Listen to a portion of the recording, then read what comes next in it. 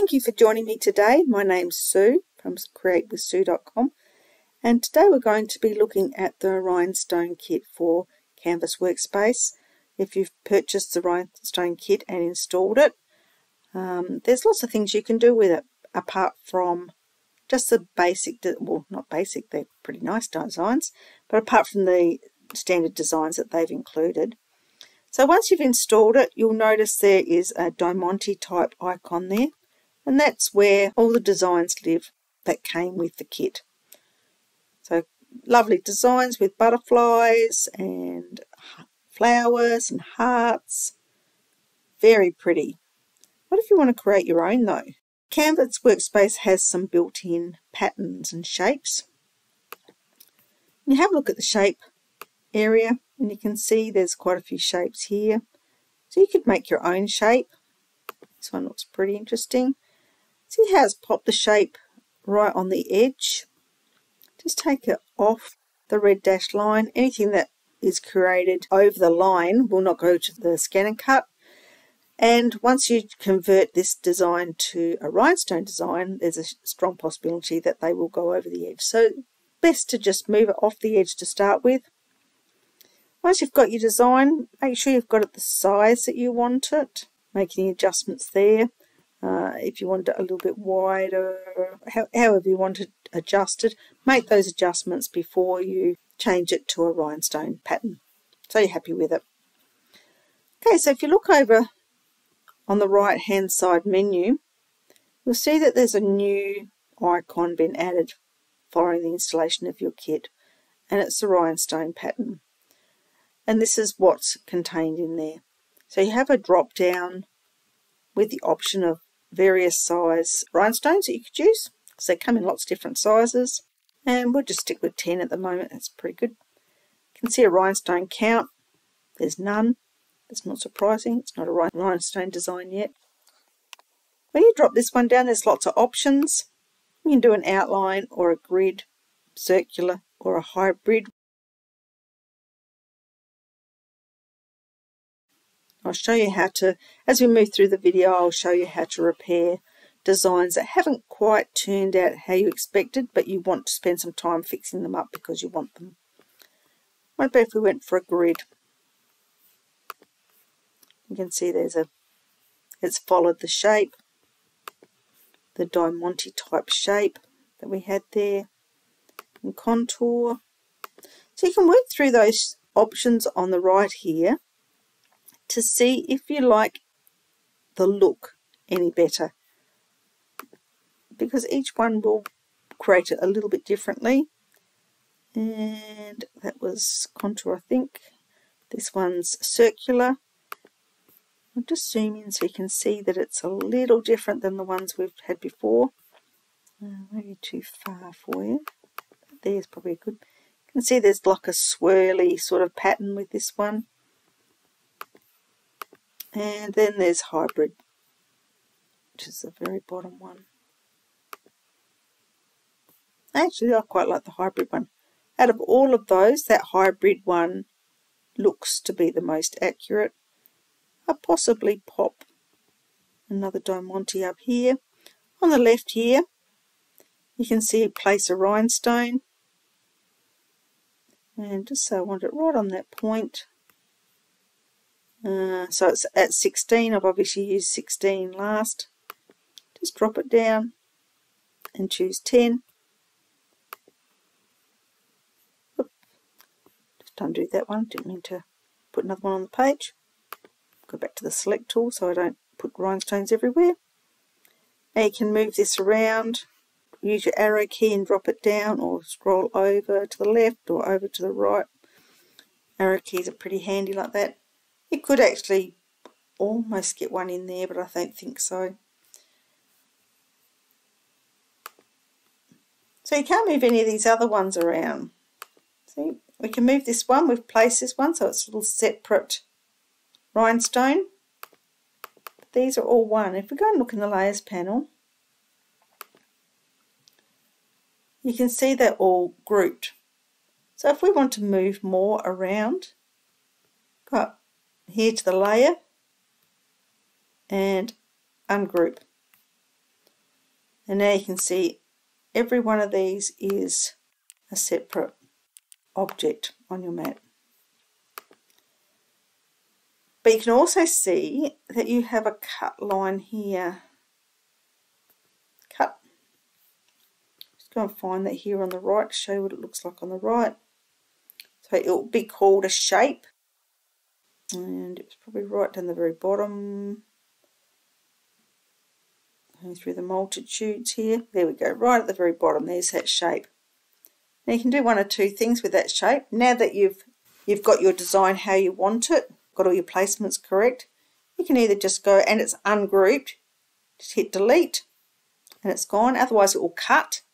It'll cut your, your design out as well, which won't be what you want because it won't give you the template to create your rhinestones. But maybe you want to create more designs with it and you can just hide it. This icon here will hide and that won't cut either while it's hidden. You can also lock it as well so it's locked into place and can't move so you can't grab it or move it when it's locked. And just make it a bit smaller. So what if we wanted more than one, one of those? So you should be able to duplicate this. You can right click and go duplicate.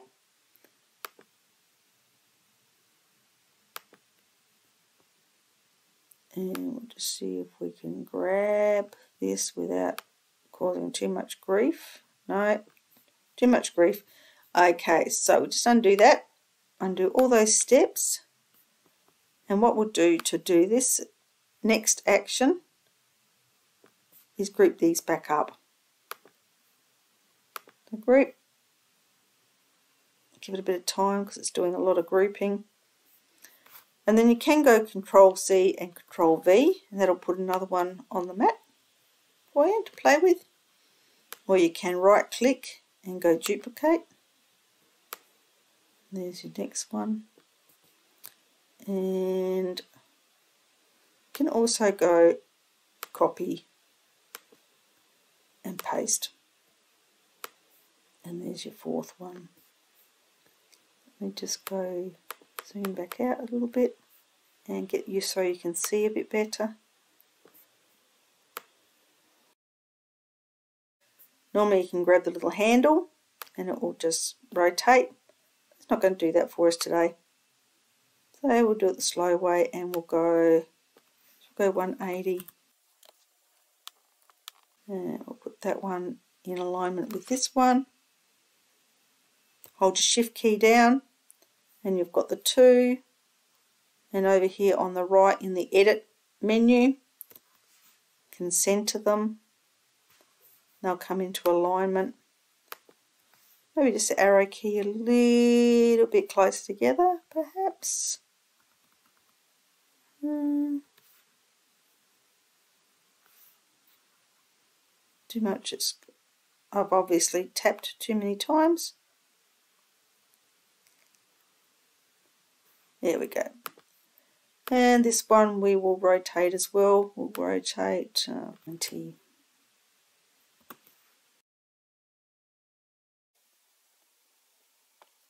And this one we will go minus 90.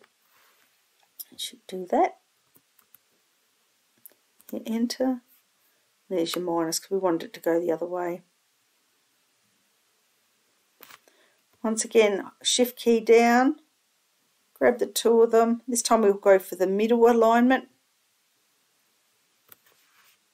And they must have been pretty good. And just arrow that over a little bit so we can see that that is centered. Now you can build on this. So if we ungroup all of those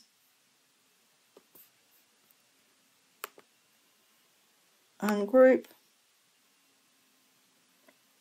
Give it a minute because it's lots.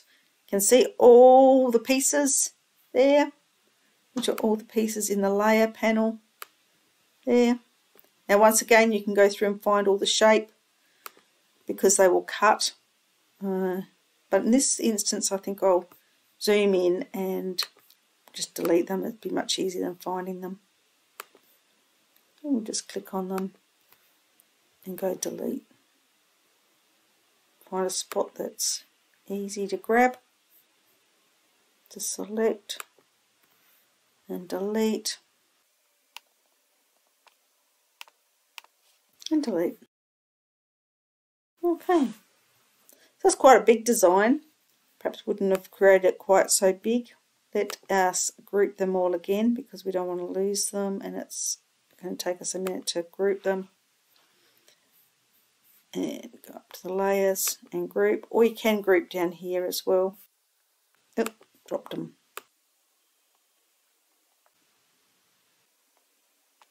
So we can also group them here. We're back to one design. Much easier to work with, with one. Move it around. And we can add more items to this design if we wanted to. We won't do that today though.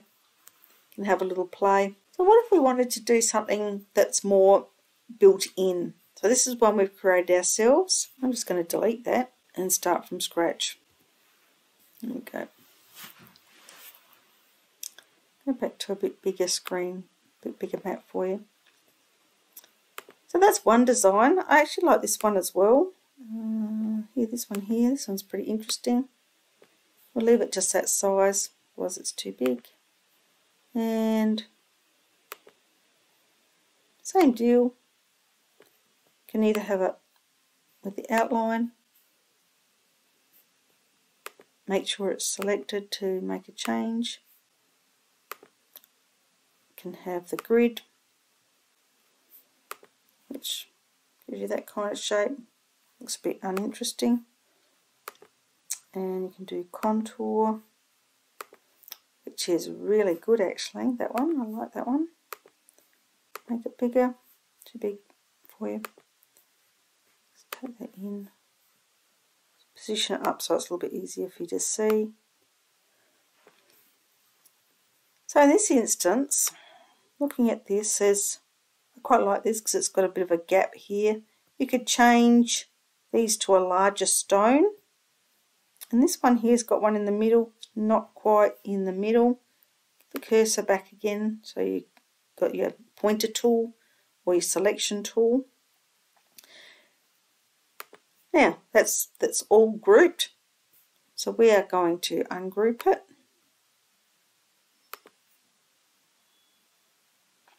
And there's all our separate rhinestone cuts. So I want to change that one. You can see up the top here, there's your S10. We'll drop it down to an S16. Make it bigger if you wanted to and we'll just use our arrow keys. And these ones here you could also make larger if you wanted to. Do every alternate one could do every one. I'll leave one in, in the middle. I will do every one. I won't do them all. I'll just speed this bit up. When I edit I'll speed it up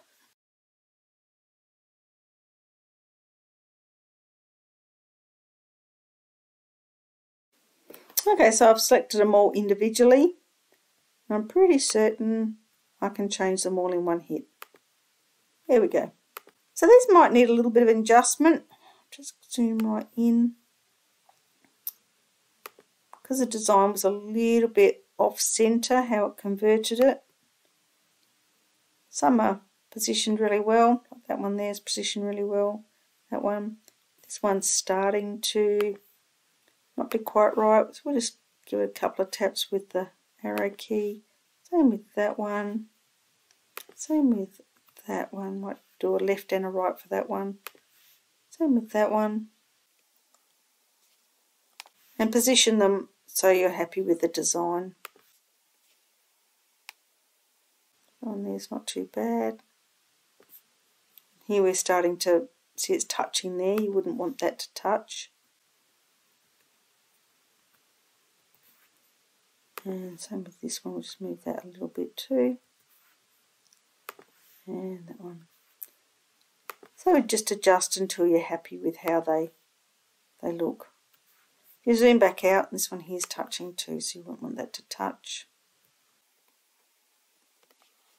We'll zoom back out or scroll back out.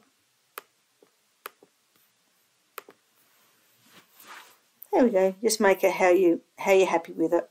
Might just need a little bit of tidying up. That's basically how you do it.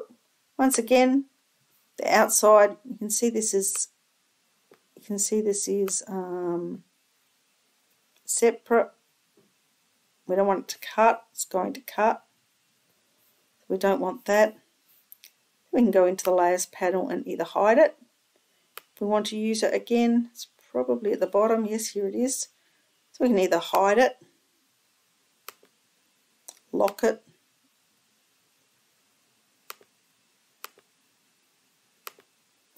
or hit the delete key and delete it. Let's add a little bit of colour to this just so you can see it a bit clearer.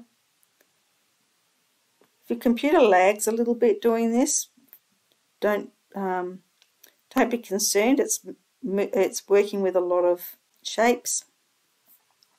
Uh, let's make a bit of pink perhaps.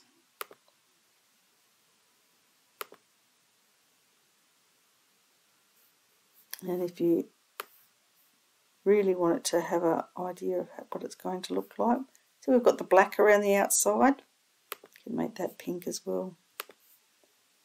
It makes no difference. This is purely for you to see what it might look like. Those colours make no difference to your cup whatsoever. But it does give you a bit better idea, especially if you might want to select all of these and put them in a different colour, see what that looks like.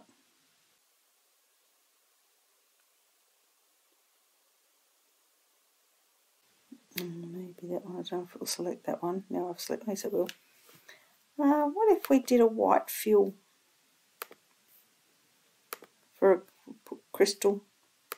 Of course I missed one. Of course I did. Yeah. Okay, so they could be a a brighter or a clear, what they call a clear rhinestone or a diamante type looking rhinestone and some coloured ones and that's what that would look like. So those colours are just uh, like a design feature to help you see what this might look like as the end result. Makes no difference to how it cuts whatsoever. Alright, that's really pretty. I might actually save that one. And so you can save as and save it as a CWPRJ file, which is a Canvas Workspace project file, or you can export it as an FCM. I'm just going to save it as a, I'll just pop it right there for the minute. Rhinestone rhinestone shape. That'll do for the minute, just so it's saved. Now what did we start with? Goodness, we started with that. And look what we've got now. You see. So that's come a long way from that very basic shape to a very pretty design. Finish off this video now. I've got some other ideas as we work through and some of them turn out really really well and it will also give you a bit of help with some other things. So I'll do another video, like a follow-up video with making some more. Thanks for joining me today and I'll talk to you another day. Come visit me on createwithsue.com. See ya!